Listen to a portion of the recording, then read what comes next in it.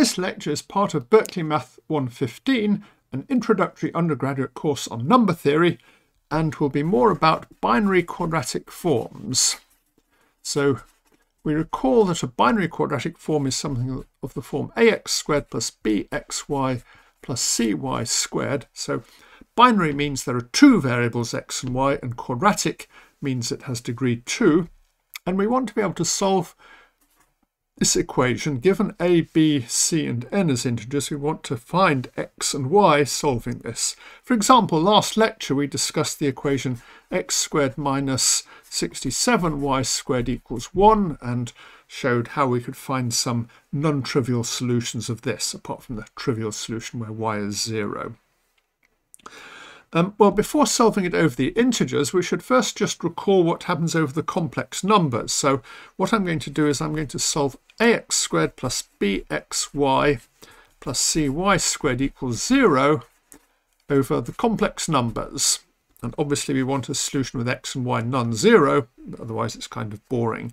And if we divide by y squared, we find ax over y squared plus bx over y plus c equals 0, and this is just a quadratic equation in x and y, and we all know how to solve that by completing the square. We find the formula x over y is minus b plus or minus the square root of b squared minus 4ac over 2a. Now, this term b squared minus 4ac here is called the discriminant, and it very much determines the behavior of this form over not only over the complex numbers but also over the integers. Um, so we normally denote it by d, so d is b squared minus 4ac. And we note that the behavior of this depends on the sign of the discriminant. So if d is greater than 0, the roots x over y are real and distinct. If d is equal to 0, the roots are equal, and if d is less than 0, the roots are non-real because we're taking the square root of a, of a negative real number, so we necessarily get a, um, some multiple of i in there. Um, the case when d equals 0 is kind of boring. Um, it's, it's sort of trivial to find integer solutions. So we, we generally sort of ignore this case. Um, um and um, um, we can ask, what are the possible values of d? So what are the possible values? And we notice that d is equal to b squared minus 4ac. So in particular, d is congruent to b squared modulo 4. So um, b squared modulo 4 can only be 0 or 1. So this implies that d must actually be congruent to 0 or 1 modulo 4. So not all integers can appear as the discriminant of a binary quadratic form. Um, conversely, if d satisfies this condition, there's always a form um, with that discriminant. For example, x squared minus ny squared has discriminant d is equal to 4n, and x squared plus xy minus ny squared has discriminant d equals 4n plus 1. So for any number of the form 4n or 4n plus 1, there's at least one binary quadratic form with that discriminant. So the possible discriminants are, you know, minus 12, minus 11, minus 8, minus 7, minus 4, minus 3, 0, 1, 4, 5, and so on.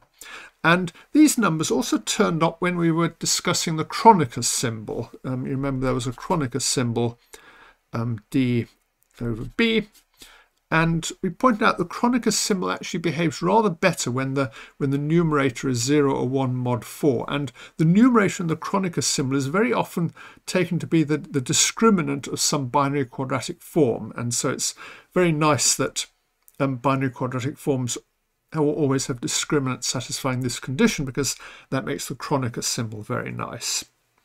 Um, so um, let's look at what effect the discriminant has on the behavior of the form. So let's look at three forms as examples. So there's x squared plus y squared, x squared minus 2y squared, minus x squared minus 2y squared. And here the discriminant is minus 4, the discriminant is 8, and the discriminant here is minus 8. And you'll notice this is less than 0, this is greater than 0, and this is less than 0. Um, and now we can see that um, these forms have the following properties. This one is always greater than or equal to 0, and this one is always less than or equal to 0. On the other hand, this one here is a bit different because this one can be greater than 0 and it can also be less than 0. So um, the, the cases when the form is always either positive or negative, the form is said to be definite. So it's always either definitely positive or definitely negative. And the case when d is less, uh, when the form can be both pos positive or negative, is called indefinite.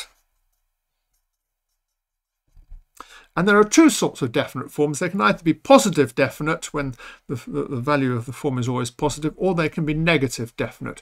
But there's not really that much difference between positive definite and negative definite forms because you can just change one to the other by multiplying it by minus 1. So usually people only discuss positive definite forms because negative definite is a trivial variation of this.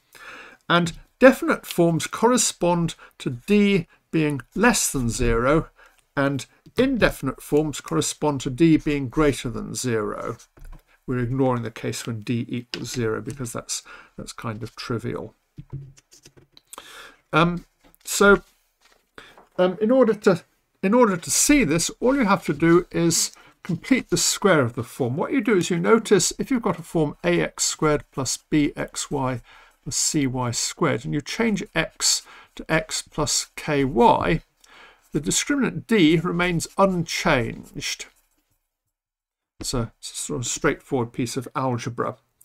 Um, you just have to work out b squared minus 4ac for the for the two forms. Um, now, by by choosing a suitable value of k, you can arrange for the um, value of b to be equal to 0. So we only have to check this for the form ax squared plus cy squared. And now you notice the discriminant is minus 4ac. So if this is greater than 0, then that means that um, 1 of ac is greater than 0 and 1 is less than 0. So this means the form is indefinite. Um, on the other hand, if d is less than 0, this means a and, and, and, c are both greater than 0, or a and c are both less than 0. And both of these cases correspond to the form being definite. Of, of, course, the first one, the form is positive definite, and the next one, the form is negative definite. But the, the discriminant can't tell the difference between positive definite and negative definite. So the discriminant is called the discriminant because it discriminates between the two cases when, when the form is definite or, or when it's indefinite. And, and the theory of these two forms turns out to be um, quite different. Um, um, for instance, you can see this if you um, try and draw the graph of the form being equal to some constant. So if the form is definite, the, the, the equation of x squared plus y squared equals constant is going to be some sort of ellipse. In fact, it will be a circle in this case. Whereas in the indefinite case, the, the, the, the um, x squared minus 2y squared equals a constant is usually a hyperbola unless it degenerates into two straight lines or something. So Definite forms correspond to ellipses and indefinite forms correspond to hyperbolas. Um, next, we are going to say that ax squared plus bxy plus cy squared equals n. We'll say the form um, represents n. So it just means n is one of the values. Uh, of course, x and y have to be integers. Um, and there's a small technical variation of this. We say it primitively represents um, um, n if x and y are co-prime. We'll see in a few minutes why we need this condition. Um, before then, I'll just give a few examples of this. So the form x squared plus y squared represents 5 because 5 is equal to um, 1 squared plus 2 squared, and this is primitive because um, 1 and 2 are co-prime. Um, x squared plus y squared does not represent minus 1. Rather, obviously, you can't write minus 1 is the square of some integer plus the square of some other integer because this is always positive. Um, but x squared plus y squared also represents 8 because 8 is equal to 2 squared plus 2 squared. And you notice this representation is not primitive. In fact, there's no way for x squared plus y squared to represent 8 primitively, as you can easily check. If you, if you write 8 as the sum of two squares, this, the, the, then the two squares have to be both have to be 4, and this has to be plus or minus 2, and so on. Um, if you look at the form x squared plus 4y squared, this represents 8. Um, so it represents 4 in two ways we can write 4 is equal to 2 squared plus 4 times 1, 4 times 0 squared, and this is not primitive because 2 and 0 are not co-prime, but we can also write 4 is equal to 0 squared plus uh, 4 times 1 squared, and this is primitive. So the same number can be represented by form in both a primitive way and an imprimitive way. Um, now we come um, to the main reason why we've introduced the concept of primitive representations. We have the following theorem. So if n is primitively represented um, by ax squared plus bxy plus cy squared with discriminant d is b squared minus 4ac as usual. Then d is a square modulo 4n. Um, and before proving this, um, let's just show that we really do need this condition about being primitively represented. Um, it really becomes false if we drop this. Suppose we take the form to be x squared plus y squared and we take n to be 8 then n is represented because n is equal to 2 squared plus 2 squared, so that's of that form. But uh, d equals minus 4 is not the square mod 4n, which is 32. And we can see that because if minus 4 is equal to b squared plus, uh, better not use b, um, minus 4 is equal to z squared plus 32 times um, some number t, then if we look at this, that's even, that's even, so z must be even, so we can divide z by 2 and we find minus 1 is equal to z over 2 squared plus um, 8t. But this says that minus 1 is a square modulo 8, and we know that minus 1 is not a square modulo 8, so this fails. So without this condition here, this theorem is, is, is, is definitely false. So let's see how to prove it. Um, well, the proof is very short. It's a little bit tricky. So suppose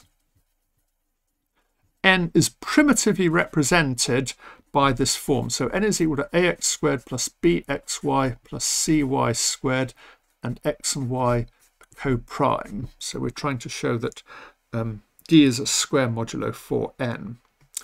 Well, now we multiply this by 4a, then we get 4an is equal to 4a squared x squared plus 4ab xy plus 4acy squared. And now we're going to complete the square. So this is 2ax plus by squared minus b squared minus 4ac times y squared, which is equal to some square min, um, minus dy squared. So dy squared is a square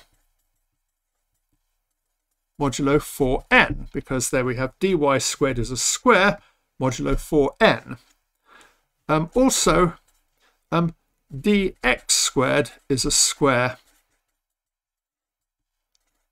mod 4n because x and y are kind of symmetric. Anything we can do with x, we can we can do with y just by just, just, just by switching x and y. So far, we haven't used the fact that x and y are co-prime, but now what we're going to do is we can put 4n is equal to n1 um, n2 with n1x, uh, n1 and x co-prime, and n2 and y co-prime. And in order to do this, we need to use the fact that x and y are co-prime. Um, and um, we're also going to take um, n1, n2 uh, to be co-prime with each other. Um, so um, now we notice that x squared d is a square modulo n1 because n1 divides 4n. So d is a square modulo n1 because um, x um, x uh, n1 is equal to 1 so um, we can um, if um, x squared is the square of an invertible element so if x squared d is a square then then, then d is also a square we can just divide by by x squared so, um, also by the same argument d is a square modulo n2 because as we said it's anything we can do with x we can do with y. So by the Chinese remainder theorem d is a square modulo n1 times n2 which is equal to 4n because n1 and n2 are co-prime. So that's shown that d is a square modulo 4n if it's primitively represented. Now we can ask, is there a converse to this? So we can ask, is there a converse? Um, if d is a square modulo 4n, um, is n represented primitively?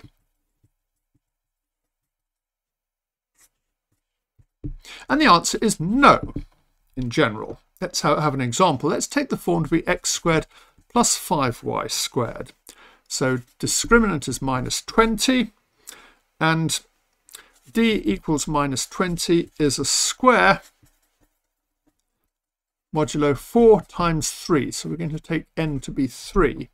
But um, x squared plus 5y squared does not represent n. Actually, there's a trivial reason why this could fail, um, the form could be definite, say the form could be positive definite, and n might be negative. But this shows that even if we don't have this sign condition, here n is positive and the form is positive definite, but um, n is still not represented by the form. However, there's a weak converse. Um, um, the weak converse is equivalent. So if d is a square modulo 4n, then n is primitively represented by some form of discriminant d. And that's very easy because d is a square modulo 4n. That means d is equal to a square minus 4n times something. So, so th this just says d is a square modulo 4n. But then we can take the form to be ax squared plus bxy plus ny squared. And we see this, the discriminant of this form is just b squared minus 4an, which is, which is what we wrote down there. And this represents n. Well, it's obvious how it represents n. We just put x equals 0, y equals 1. And this is certainly primitive because um, 0 and 1 are co-prime. So we have the following very important basic result. So the following are equivalent. Um, first of all, d is a square modulo 4n, and secondly, n is primitively represented by some form of discriminant d. Um, so we're going to use this quite a lot. You see, it gives us some information about which numbers are represented by forms. There's a little bit of a problem because we can't, don't seem to be able to pin down exactly which form n is being represented by, but we'll see how to deal with this problem later on. Um, let's just give an example. Let's take d equals minus 4, and let's take n to be a prime, because it turns out that primes are rather easier to deal with. Now there's a form of discriminant d equals minus 4, which is x squared plus y squared. So this theorem says that um, if p is represented by this form, then this implies that d is a square modulo um, 4 um, n, which is equal to 4p, because n is just equal to p. So this says that minus 4 is a square modulo 4p, and it's certainly a square modulo 4, so this is equivalent to saying that minus 1 is a square modulo p, and we saw earlier that this is equivalent to saying p equals 2 or p is congruent to 1 modulo 4. So this says that if x squared plus y squared is p, then p is 1 modulo 4, which we actually saw earlier. It's actually rather easier to prove this. But so, so this is so the fact that any prime of the form x squared plus y squared is a, of the form 1 mod 4 is a special case of this result here. Um, we'd also like the, to show the converse. If p is 1 mod 4, we would like to show it's the sum of two squares. Now, if this were the only form of discriminant minus 4, then this theorem would give us that result because it says that, that, that there's some form representing p and it would have to be this form. The trouble is this is far from being the only form of discriminant minus 4. There are loads of other forms. For example, there's x squared plus 2xy plus 3y squared and lots and lots of others. However, the key point is that these are all equivalent. So we will explain what equivalent means in a later lecture, but in particular, two equivalent forms represent the same numbers. I should say they're, they're equivalent provided they're positive definite. Um, so if all positive definite forms of discriminant D are equivalent, then um, if um, n satisfies this condition, then n must be primitively represented by all these forms because it must be primitively represented by one of them and they all represent the same numbers.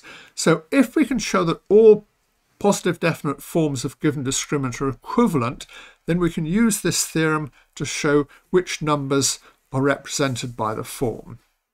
Okay, well, um, we now need to discuss what it means for two forms to be equivalent, which I will do in the next lecture.